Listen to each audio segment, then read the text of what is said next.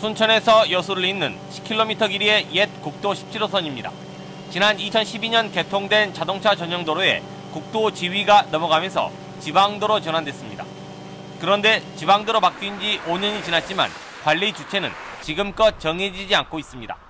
국도는 중앙정부가, 지방도는 시도가 관리를 하는데 전남도와 여수시가 정부에서 넘어온 관리권을 서로 받지 않겠다며 미루고 있기 때문입니다.